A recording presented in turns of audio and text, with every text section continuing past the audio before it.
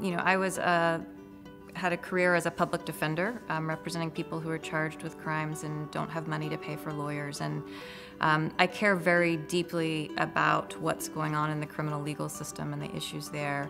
And so I view this in terms of the subject matter as an opportunity to introduce my students to a different way of looking at the criminal legal system than they might have heard before, um, and to really become intimate with it, with its successes and its failures. I want my students to have a sense of how the law operates in practice, not just in theory. And so that's very important in terms of how I teach. Yeah, I mean, I think the Seventh Circuit has pretty uh, appealing arguments in this case, right? But the reality is probably that the Supreme Court got this right. Um, I love the process of helping students learn and they help me learn. I mean, it's an, it's an ongoing conversation. They help me to think about both the law and the world in ways that I might not.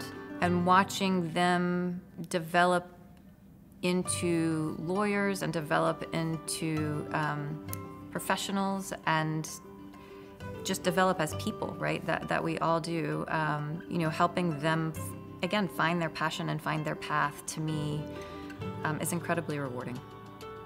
I am hopeful that many of our students are going to go out there and do amazing things that are going to change the world. And I, I, I am not only hopeful, I feel fairly confident in saying that. You know, I, I, I hear the things my students think about and, and the, the things that they care about. And I have full expectation that many of them are going to go out and, and really shape the way the world is, is going, right, and, and, shape the things that are going on.